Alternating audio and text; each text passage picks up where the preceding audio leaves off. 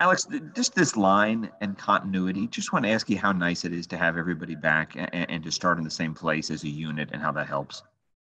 Yeah, it's great. I mean, that's a big part of offensive line is uh, having continuity and be able to play together. So, whenever you keep guys together for a couple years, it really helps. Uh, of the younger guy, the the backups, if you will, right now, who, who's shown you something in here in camp so far? To be honest, everybody looks good. I feel like we got a good group. There's a lot of competition. Um, to get some preseason games rolling and, and play some football because I think we had a really good group. Thanks, Alex.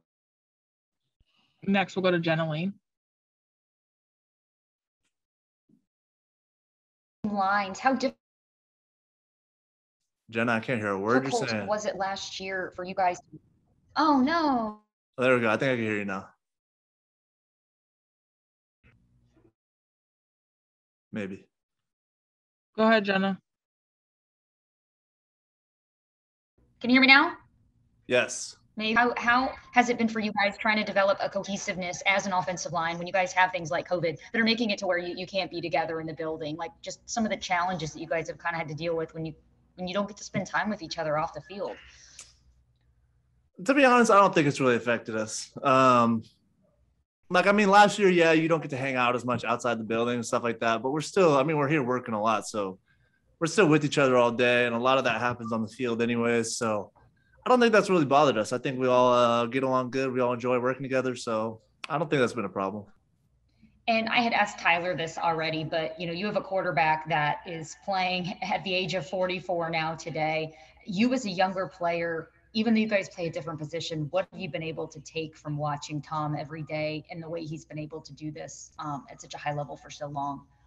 It's pretty crazy, honestly. It's pretty insane if you really think about it. But um, I think really with Tom, it's his attention to detail in uh, everything and his preparation, how he is on and off the field. I think that's what really separates him. He's he doesn't take anything for granted. Every detail is accounted for. Thank you very much. Next, we'll go to JC Allen. If any media have questions, please raise your hand.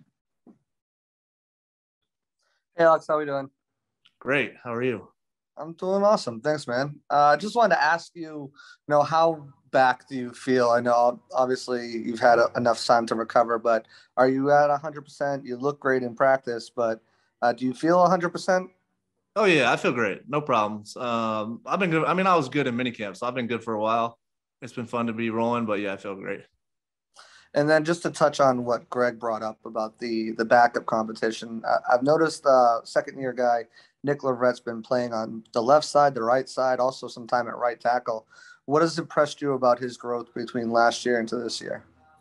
Nick's a beast, man. We knew he was good last year too. Um, yeah, he's playing both sides and guard and tackle. So I think the great thing about Nick is how much he's always competing. He competes harder than anybody, always playing hard, always finishing. Um, yeah, I love playing with Nick. Thank you. Next, we'll go to Rick Stroud. Alex, I know you guys are driven to repeat, right, as Super Bowl champions. For you personally, though, with such a bad timing of that injury, just just how bad did was it for you not to be able to be out there playing the Super Bowl? I know I know you're thrilled that you guys won and you had a big role in the season, but this feels like unfinished business for you a little bit personally.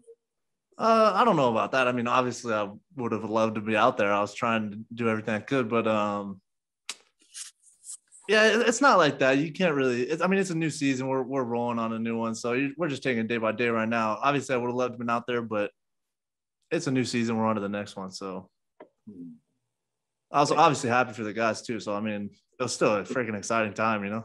Yeah, very much so. Yeah. Next, we'll go to Jon Ledyard.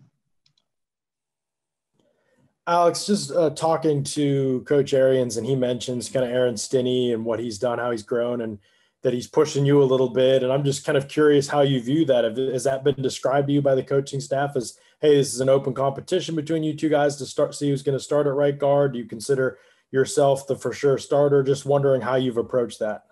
I mean, it's always a competition. Obviously, everybody wants to play, everybody wants to start, everybody's competing. So, um, I don't think you look at anything like for sure. I think we're all just competing, all trying to uh, put our best on the field, and you don't really view it like that, to be honest. Thank you. We'll go back to Jenna Laine. Hey, Alex, hope you can hear me now. Um, in that wild card game, um, if I remember correctly, you tried to continue playing with the broken leg. At what point did you realize that you broke it? And like, what was that like for you trying to try to continue?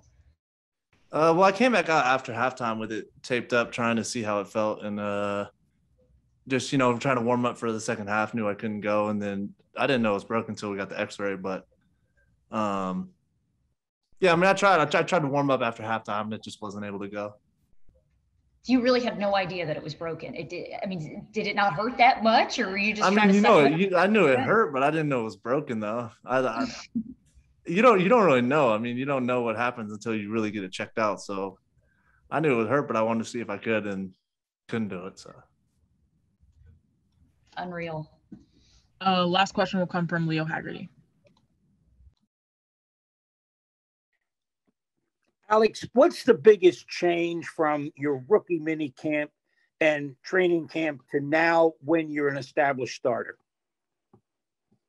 um, on my rookie mini camp, the rookie well, it still was just me and Vita fighting the whole time at the rookie mini camp, so that hasn't changed too much. Um, but I think uh, you just gain more confidence, gain more experience. You see stuff better. Um, back in the day, Gerald was just beating me up when I was a rookie, so don't have to deal with that anymore. Um, I think, yeah, you just feel you get better as a player, honestly. Um, but then besides that, it does slow down a little bit, and you start to see stuff a little better. I would say.